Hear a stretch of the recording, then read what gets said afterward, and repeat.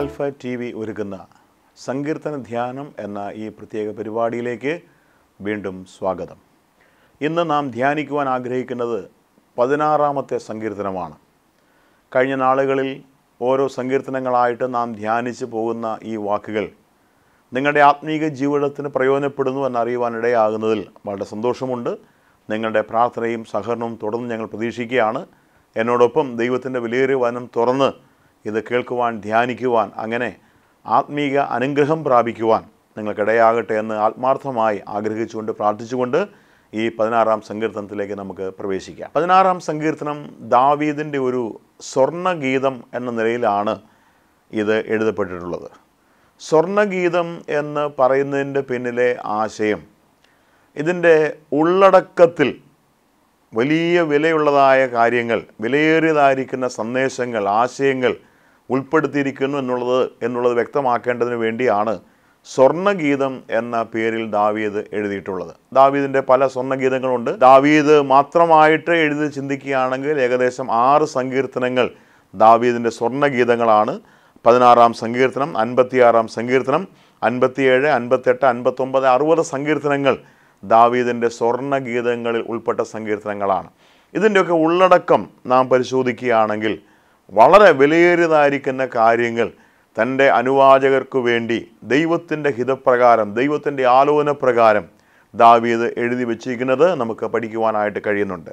ഈ സങ്കീർത്തനത്തെ നാം ഒന്ന് സൂക്ഷ്മമായിട്ട് പരിശോധിച്ചാൽ ദൈവവുമായുള്ള വളരെ വ്യക്തിപരമായ ഒരു അടുപ്പത്തിന്റെ പശ്ചാത്തലത്തിലാണ് ദാവീദ് ഈ പതിനാറാമത്തെ സങ്കീർത്തനം എഴുതിയിട്ടുള്ളത്. ഞാൻ ഒന്നും കൂടി ആവർത്തിക്കാം. ദൈവവുമായുള്ള തന്റെ ഹൃദയപ്രകാരമുള്ള അടുപ്പം. ദൈവത്തോട് വളരെ അടുത്തിരിക്കുന്ന ദാവീദ്. ദൈവത്തിന്റെ ഹൃദയത്തിന്റെ സ്പന്ദനങ്ങൾ അറിയുന്ന ദാവീദ്. ദൈവത്തിന്റെ ഹൃദയത്തിന്റെ ആലോചനകളെ നന്നായിട്ട് അറിയുന്ന ദാവീദ്. ആ ദാവീദ് സ്വർണഗീതം എഴുതിയെന്ന് മാത്രമല്ല ദൈവത്തോടുള്ള അടുപ്പത്തിൽ നിന്നും താൻ അനുഭവിക്കുന്ന ആത്മീക സന്തോഷങ്ങളും താൻ അനുഭവിച്ചുകൊണ്ടിരിക്കുന്ന ജീവിതത്തിന്റെ ധൈര്യവുമൊക്കെയാണ് ഈ സങ്കീർത്തനത്തിലെ പ്രതിപാദ്യ വിഷയമായിട്ട് കാണാൻ കഴിയുന്നത്. ഇത് വ്യക്തിപരമായിട്ട് നാം ചിന്തിക്കുകയും പഠിക്കുകയും ചെയ്യേണ്ടതായ വളരെ പ്രധാനപ്പെട്ടതായ ഒരു സങ്കീർത്തനമാണ്. ഞാൻ ഈ സങ്കീർത്തനം സൂക്ഷ്മമായി ഒന്ന് ശ്രദ്ധിപ്പാനിടയായി തീർന്നപ്പോൾ അതിനകത്ത് എഴുതിയിരിക്കുന്ന ചില വാക്കുകളെ ഒന്ന് പരിശോധിപ്പാനിടയായി.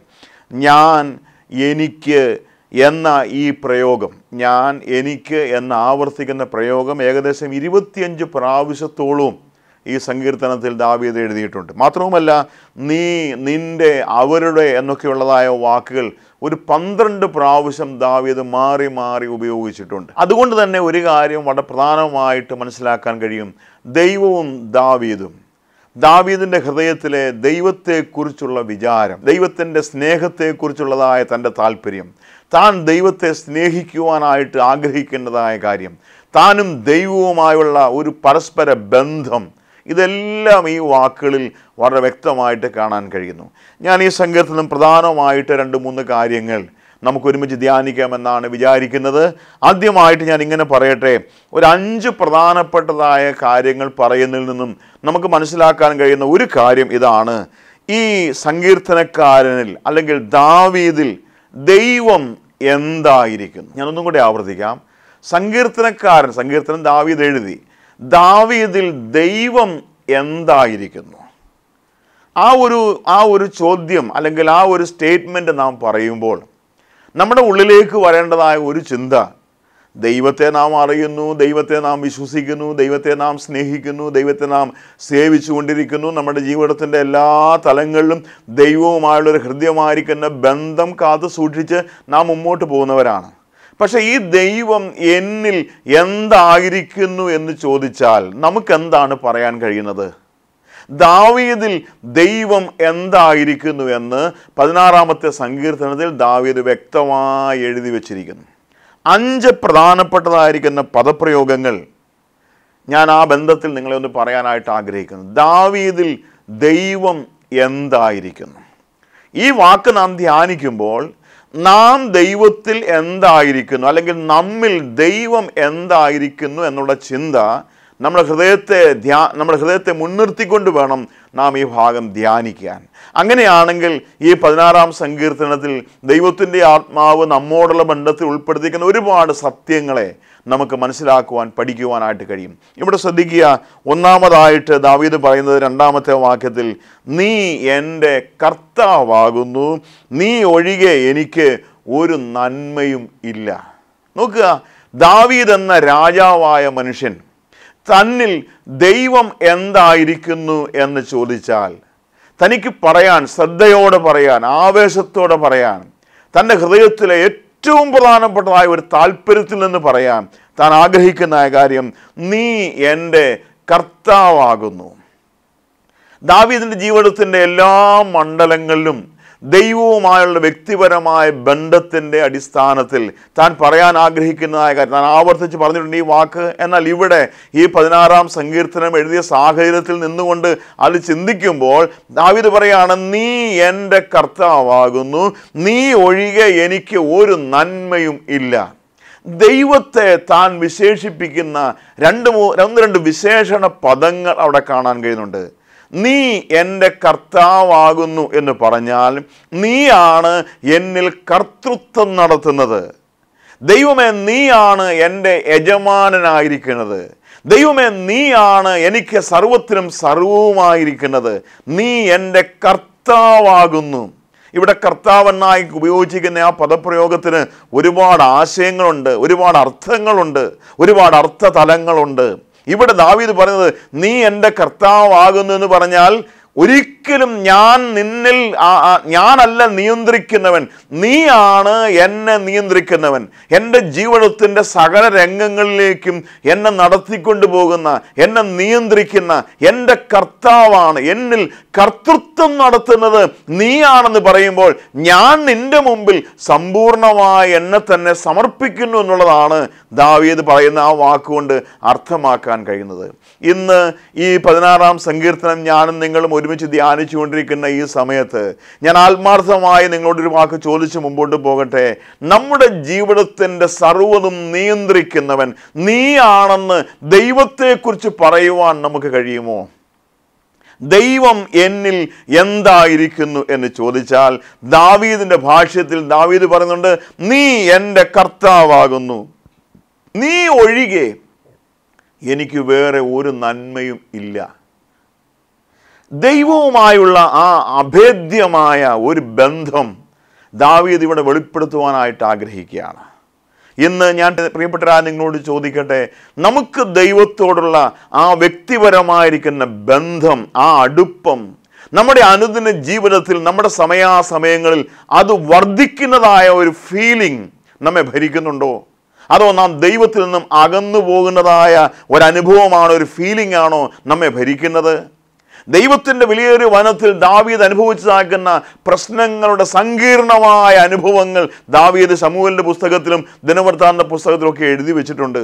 എന്തെല്ലാം എന്തെല്ലാം ജീവിതത്തിന്റെ അനുഭവങ്ങളിൽ കൂടെ താൻ കടന്നുപോയി? ഏതെല്ലാം നടക്കുന്ന ശത്രുക്കൾ തനിക്കുണ്ടായിരുന്നു? ആ സ്ഥാനങ്ങളിലൊക്കെ ദൈവത്തിൽ തനിക്കുണ്ടായിരുന്ന ആശ്രയം ആ വ്യക്തിപരമാക്കുന്ന ബന്ധം ആ ബന്ധത്തിന്റെ ആക്കം ഓരോ സന്ദർഭങ്ങളിലും വർദ്ധിച്ചു വന്നുകൊണ്ടിരുന്നതായിട്ടാണ് തിരുവഴുത്തിൽ നിന്ന് മനസ്സിലാക്കുവാൻ കഴിയുന്നത്. എത്ര ശ്രേഷ്ഠമായ ഒരു കാര്യമാണ് ദാവീദ് പറഞ്ഞത്. ദൈവത്തെ മുൻനിർത്തിക്കൊണ്ട് ദൈവത്തെ ചൂണ്ടുപലകയാക്കി നിർത്തിക്കൊണ്ട് ദൈവത്തെ തന്റെ മുമ്പിൽ നിർത്തിക്കൊണ്ട് താൻ ആവേശപൂർവം വിളിച്ചു പറയാണ് നീ എന്റെ കർത്താവാകുന്നു. മറ്റൊരാശയം അവിടെ ഉള്ളത് കർത്താവ് എന്നാകുന്ന വാക്കിന് ലോകത്തെ മുഴുവൻ നിയന്ത്രിക്കുന്നവൻ പ്രപഞ്ചത്തെ മുഴുവൻ നിയന്ത്രിക്കുന്നവൻ.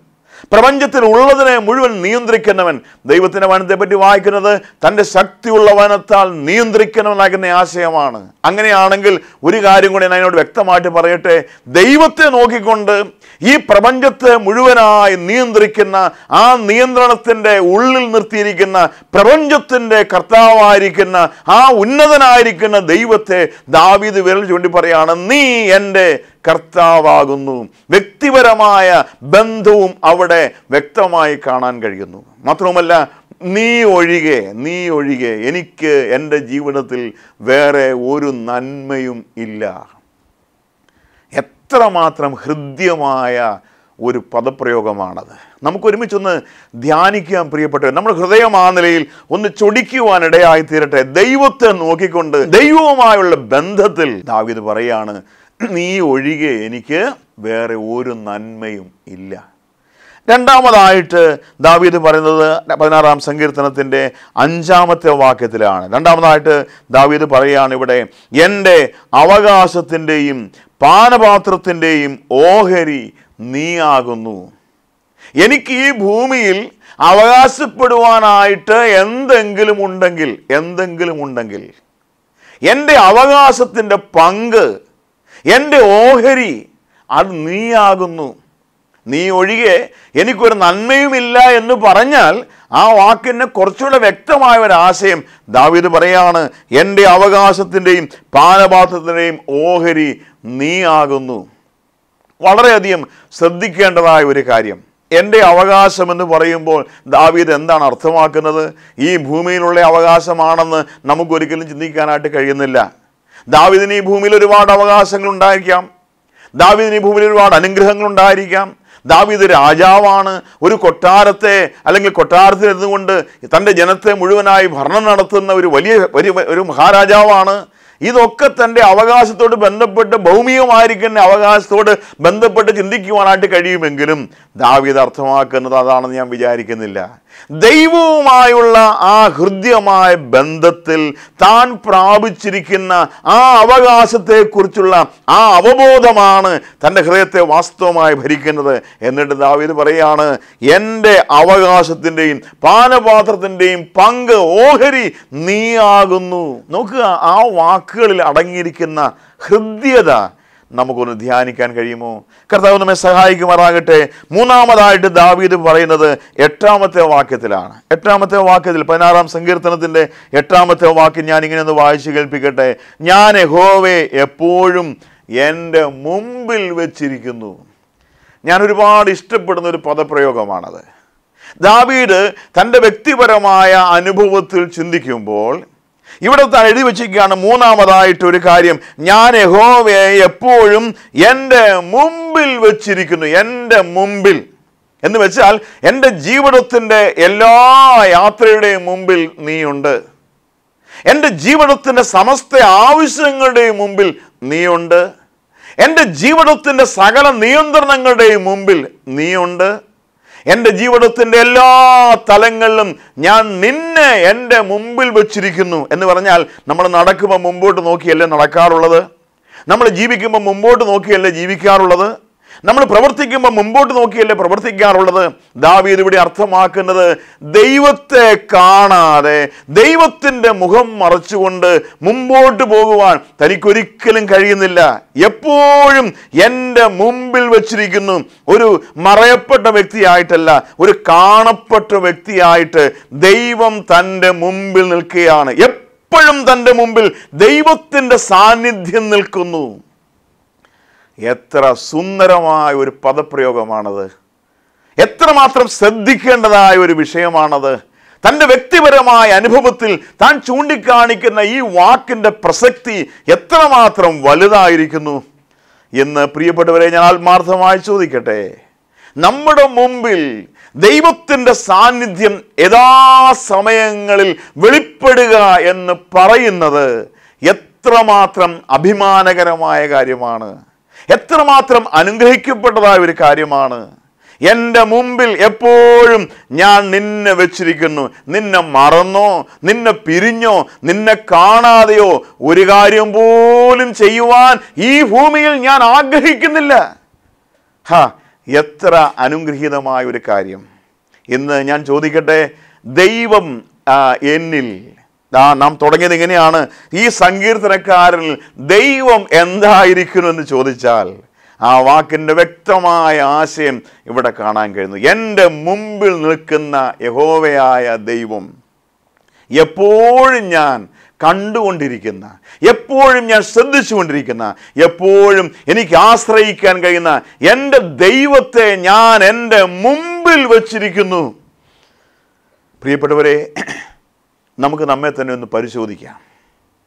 നാം ദൈവ സാന്നിധ്യത്തിൽ നിന്നും ഓടി അകരാനായിട്ട് പലപ്പോഴും ശ്രദ്ധിക്കേണ്ടതായ ഒരു പ്രകൃതി നമ്മളെല്ലാവരിലുമുണ്ട് നമ്മളെല്ലാവരും മനുഷ്യരാണല്ലോ. അപ്പം ദൈവത്തിന്റെ വിശുദ്ധിയുടെ ആ സാന്നിധ്യത്തിന്റെ മുമ്പിൽ നിന്നും പാപമെന്നതായിരിക്കുന്ന വലിയ വിഷയം നമ്മിലുള്ളത് കൊണ്ട് നാം അല്പം ഒന്ന് ഹൈഡ് ചെയ്യാൻ നാം ഒന്ന് ഒളിഞ്ഞിരിക്കുവാനായിട്ട് ആഗ്രഹിക്കുന്നവരാ. പക്ഷെ ദാവീദ് അതല്ല പറയുന്നത് എപ്പോഴും എന്റെ മുമ്പിൽ ഞാൻ നിന്നെ വെച്ചിരിക്കുന്നു. എന്ന് വെച്ചാൽ ഞാൻ നിന്നെ കാണുന്നു നീ എന്നെ കണ്ടുകൊണ്ടേയിരിക്കുന്നു. ദൈവത്തിന്റെ ദൃഷ്ടിയിൽ നിന്നും ഓടി മറയുവാൻ ഒരിക്കലും ദാവീദ് ആഗ്രഹിക്കുന്നില്ല. ഇതെന്നെ വല്ലാതെ ചിന്തിപ്പിച്ചതായ ഒരു ഭാഗമാണ്. ദൈവത്തിന്റെ ദൃഷ്ടിയിൽ എപ്പോഴും വെളിപ്പെട്ടു വരുവാൻ. ദൈവം അഗ്നിജാലയ്ക്കൊത്ത കണ്ണുള്ളവനെന്ന് ദാവീദ് തന്നെ എഴുതി വെച്ചിട്ടുണ്ട്. ആ ദാവീദ് ദൈവത്തിന്റെ മുമ്പിൽ നിന്ന് ഒരിക്കലും മാറി നിൽക്കാൻ ആഗ്രഹിക്കുന്നില്ല. അത് തന്നെ എത്രമാത്രം ശ്രദ്ധിക്കേണ്ടതായ കാര്യമാണ് തന്റെ ജീവിതത്തിന്റെ എല്ലാ അവസ്ഥയിലും ദൈവത്തിന്റെ മുമ്പിൽ നിൽക്കുന്ന ആ നല്ല അനുഭവം ദാവീദ് കാണിച്ചെന്ന അനുഗ്രഹീതമായ ഒരു മാതൃകയാണ്. നമുക്ക് ആ മാതൃകയെ പിൻപറ്റാൻ കർത്താവ് നമ്മെ സഹായിക്കട്ടെ. ഇവിടെ ഇതാ അടുത്തതായിട്ട് താൻ നാലാമതായിട്ട് പറയുന്ന മറ്റൊരു കാര്യം വളരെ ശ്രദ്ധിക്കേണ്ടതാണ്. ദാവീദ് പറയാണ് ദൈവം സങ്കീർത്തനക്കാർ ദൈവം എന്തായിക്കെന്ന് ചോദിച്ചാൽ നാലാമതായിട്ട് ദാവീദ് പറയുന്നു അവൻ എന്റെ വലത്ത് ഭാഗത്തുള്ളത് കൊണ്ട് ഞാൻ കുലുങ്ങിപ്പോകയില്ല. ഈ വലത്ത് ഭാഗം എന്നതാകുന്ന വാക്ക് ശക്തിയുടെയും അധികാരത്തിന്റെയും ഒക്കെ ഒരു പദപ്രയോഗമായിട്ടാണ് ഈ വലത്ത് ഭാഗം എന്നതായ വാക്ക് കാണാൻ കഴിയുന്നത്. ഇവിടെ ശ്രദ്ധിക്കേണ്ടതായ ഒരു കാര്യം നീ എന്റെ വലത്ത് ഭാഗത്തുള്ളത് കൊണ്ട് ഞാൻ കുലുങ്ങിപ്പോകയില്ല. ഹാ എത്ര എത്രമാത്രം കോൺഫിഡന്റോടുകൂടി അതാ കോൺഫിഡൻസോടുകൂടിയാണ് ദാവീദ് ഈ വാക്ക് പറഞ്ഞത്? നീ എന്റെ അധികാരത്തിന്റെ ചിഹ്നമാണ്. അധികാരത്തിന്റെയും ശക്തിയുടെയും വിഷയമായ വലങ്കയോട് ചേർന്ന് നീ ആയിരിക്കുന്നെങ്കിൽ എന്നിൽ കർത്തൃത്വം നടത്തുന്നതായ നീ എന്നെക്കൊണ്ട് ചെയ്യിപ്പിക്കുന്നതായ കാര്യങ്ങൾ. ദാവീദ് പറയുകയാണ് നീ എന്റെ വലത്ത് ഭാഗത്തുള്ളത് കൊണ്ട് ഞാൻ കുലുങ്ങിപ്പോകയില്ല. ജീവിതത്തിലെ ഏത് പ്രശ്നങ്ങളുടെ നടുവിൽ നീ എന്റെ വലത്ത് ഭാഗത്തുണ്ട്. നീ എന്റെ വലത് കൈ പിടിച്ചിരിക്കുകയാണ്. അതുകൊണ്ട് ഞാൻ കുലുങ്ങിപ്പോകയില്ല. മറ്റൊരു കാര്യം പതിനൊന്നാമത്തെ വാക്യത്തിൽ ദാവീദ് പറയുന്നു ജീവന്റെ വഴി നീ എനിക്ക് കാണിച്ചു തരുന്നു. യഥാ സമയങ്ങളിൽ ജീവന്റെ വഴി നന്മയുടെ വഴി ദൈവത്തിന്റെ വഴി നേരായ വഴി ധാരാളം വാക്കുകൾ കുറിച്ച് പറയാൻ കഴിയും. ആ ജീവന്റെ വഴി നീ എനിക്ക് കാണിച്ചു തന്നിരിക്കുകയാണ്. നോക്കുക ദൈവം മുന്നിലുണ്ടെങ്കിൽ തന്നെ മുമ്പിൽ വച്ചിരിക്കുന്നത് കൊണ്ട് ഒരു വഴി തേടി അലയേണ്ട ആവശ്യം ദാവിദിന്റെ ജീവിതത്തിലില്ല. കാട്ടിലൂടെയാണെങ്കിലും മരുഭൂമിയിൽ കൂടിയാണെങ്കിലും വനത്തിൽ കൂടിയാണെങ്കിലും ശത്രുവിന്റെ മുമ്പിൽ കൂടിയാണെങ്കിലും അവിടെയെല്ലാം ഒരു വഴി ദൈവം കാണിച്ചു കൊടുക്കുന്നു. ജീവന്റെ വഴി. എനിക്ക് ആ വഴിയെക്കുറിച്ച് ഒരുപാട് കാര്യങ്ങൾ പറയുവാനായിട്ടുണ്ട്. പക്ഷേ ഈ ചുരുങ്ങിയ സമയത്ത് ഞാൻ എന്നെ താല്പര്യപ്പെടുന്നില്ല. നമ്മുടെ എല്ലാവരുടെയും ജീവിതത്തിൽ ഒരു ജീവന്റെ വഴി വെളിപ്പെടുത്തുന്ന ഒരു ദൈവത്തിൽ നമുക്ക് എത്രമാത്രം ആശ്രയിപ്പാനായിട്ട് കഴിയും. സി അതുകൊണ്ട് ഈ പ്രസ്താവിക്കപ്പെട്ടേക്കുന്ന അഞ്ച് കാര്യങ്ങളാൽ അല്ലെങ്കിൽ ഈ അഞ്ച് കാര്യങ്ങളോട് ബന്ധപ്പെട്ട് ഇപ്പോൾ പറഞ്ഞയക്കുന്ന ഈ അഞ്ച് വാക്കുകളോട് ബന്ധപ്പെട്ട് അതുകൊണ്ട് എന്നയക്കുന്ന ഒരു പദപ്രയോഗം കാണാൻ കഴിയുന്നു. അതുകൊണ്ട് ഒരു അഞ്ച് വാക്കുകൾ ഞാൻ പറയാം. അതുകൊണ്ട് ഒന്ന് എന്റെ ഹൃദയം സന്തോഷിക്കുന്നു. അതുകൊണ്ട് എന്റെ നാവ് ആനന്ദിക്കുന്നു ഈ സങ്കീർത്തനത്തിലെ വാക്കുകളാണ്. അതുകൊണ്ട് എന്റെ ജഡവും പ്രത്യാശയോടെ വസിച്ചു. അതുകൊണ്ട് നീ ജീവമാർഗങ്ങളെ എന്നോട് ഉപദേശിച്ചിരിക്കുന്നു. അതുകൊണ്ട് നിന്റെ സന്നിധിയിൽ എന്നെ സന്തോഷപൂർണനാക്കി തീർക്കുന്നു. ദൈവം എന്നിൽ എപ്രകാരം? നമ്മിൽ ദൈവം എപ്രകാരം? സങ്കീർത്തനക്കാരിൽ ദൈവം എങ്ങനെയൊക്കെ ആയിരുന്നു നമ്മിൽ ദൈവം എങ്ങനെയാണ് ആയിരിക്കുന്നത്? പ്രിയപ്പെട്ടവരെ കർത്താവ് നമ്മെ സഹായിക്കുമാറാകട്ടെ. ഒരു വാക്കൂടെ പറഞ്ഞ് ഈ ധ്യാനം ഞാൻ ഇവിടെ അവസാനിപ്പിക്കട്ടെ. ദൈവത്തിൽ നിന്നും നമുക്ക് ലഭിക്കുന്ന അനുഗ്രഹങ്ങളെപ്പറ്റി ദാവിലൂടെ പറയുന്നുണ്ട്. ഞാൻ വിശദീകരണം കൂടാതെ രണ്ട് മൂന്ന് കാര്യങ്ങൾ പറയാം. ഇതിന്റെ ഒന്ന് മുതൽ ആറ് വരെയുള്ള വാക്യങ്ങൾ വായിച്ചാൽ ദാവിദിന് സംതൃപ്തിയുള്ളതായ ഒരു ജീവിതം ദൈവം കൊടുക്കുന്നുണ്ട്. ഇതിന്റെ ഏഴാം വാക്യം വായിച്ചാൽ ദൈവത്തിൽ നിന്നും ദാവീദിന് ഉപദേശം ലഭിക്കുന്നുണ്ട്. വീണ്ടും എട്ടും ഒൻപതും വാക്യങ്ങൾ വായിച്ചാൽ ദൈവത്തിൽ നിന്നും താൻ സുരക്ഷിതത്വം അനുഭവിക്കുന്നവനാണ്. വീണ്ടും പതിനൊന്നാമത്തെ വാക്യം വായിച്ചാൽ ജീവന്റെ വഴിയെ നടക്കുന്നവനാണ് ആ വഴി കാണിച്ചെന്ന് അതിലെ നടക്കുന്നവനാണ്. മറ്റൊരു കാര്യം പതിനൊന്നാമത്തെ വാക്യത്തിൽ വീണ്ടും കാണുന്നു അവന്റെ സാന്നിധ്യം എനിക്ക് സമാപ്തി വരുത്തുന്നു. ഈ ധ്യാനം നമുക്ക് അനുഗ്രഹമായി തീരട്ടെ. ഈ നമ്മുടെ മുമ്പിൽ ദൈവത്തെ എല്ലാ സമയവും പ്രതിഷ്ഠിച്ചുകൊണ്ട് ദൈവത്തെ മഹത്വപ്പെടുത്തി ജീവിക്കുവാൻ ഈ ചിന്തകൾ പര്യാപ്തമായി തീരട്ടെ ഈ ധ്യാനം നമുക്ക് അനുഗ്രഹമായി തീരട്ടെ ദൈവത്തിന്റെ പരിശുദ്ധനാമം ഇന്നും എന്നേക്കും വാഴ്ത്തപ്പെടുമാറാകട്ടെ.